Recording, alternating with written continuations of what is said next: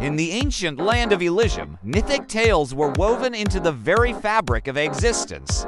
Legends of powerful gods and cunning goddesses, brave heroes, and fearsome monsters filled the hearts and minds of the inhabitants.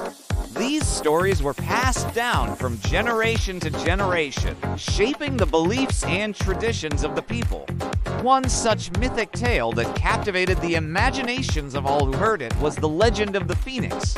A magnificent bird with feathers of gold and eyes of fire, the Phoenix was. Said to be immortal, able to rise from its own ashes and be reborn anew. It was a symbol of hope and renewal, a beacon of light in the darkest of times. The people of Elysium would gather around the fireside and listen raptly as the storytellers wove their tales of the phoenix and other mythical beings.